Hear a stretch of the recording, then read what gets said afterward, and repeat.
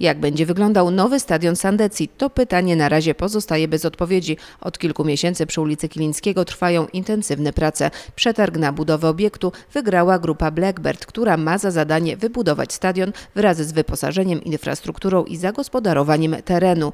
To, że inwestycja postępuje widać gołym okiem, jednak wciąż jeszcze wiele pytań pozostaje bez odpowiedzi. Zmniejszamy planowane wydatki majątkowe o kwotę 500 tysięcy. One były przewidziane na zakup budynku e, przy ulicy Kilińskiego e, w związku z budową stadionu.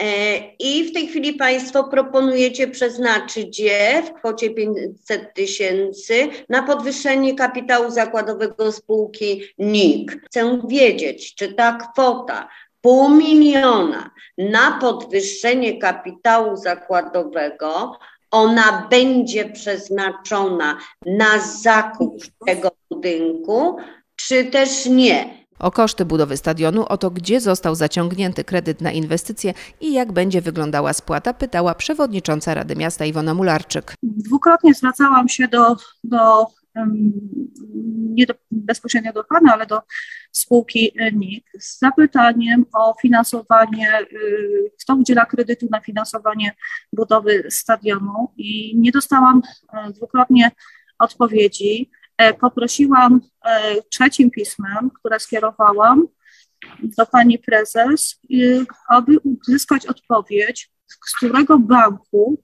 będzie poręczenie kredytu. Czy to jest jakaś tajemnica, żeby mieszkańcy Nowego Sącza, którzy tak naprawdę z własnej kieszeni będą płacili za budowę stadionu, bo tutaj trzeba mieć świadomość, ten stadion nie zostanie wybudowany za niczyje pieniądze, tylko za pieniądze mieszkańców Nowego Sącza. Pytanie przynajmniej na razie pozostaje bez odpowiedzi. Na kwestie związane ze stadionem otrzyma Pani w ustawowo przewidzianym terminie odpowiedź od spółki, która realizuje to przedsięwzięcie. Według informacji, które do mediów przesłał Urząd Miasta, zakończył się pierwszy etap inwestycji, czyli rozbiórka części istniejących budynków, trybun oraz wykonanie nowej murawy wraz z instalacjami i przyłączami. Jak czytamy dalej, stadion w 100% finansowany jest przez spółkę NIK z kredytu zaciągniętego w banku komercyjnym świadczącym usługi na terenie Polski. Obecnie trwają konsultacje prawne oraz koncepcyjne dotyczące powiększenia stadionu do pojemności 8100 osób wraz z modyfikacją, ponieważ jak czytamy w piśmie, inwestor inwestor dąży do zamknięcia bryły stadionu. Nie wiadomo na razie, jak podwyższy to ogólne koszty inwestycji. Budowa stadionu w pierwotnej wersji na 4900 miejsc to koszt w wysokości 50 milionów 700 tysięcy złotych.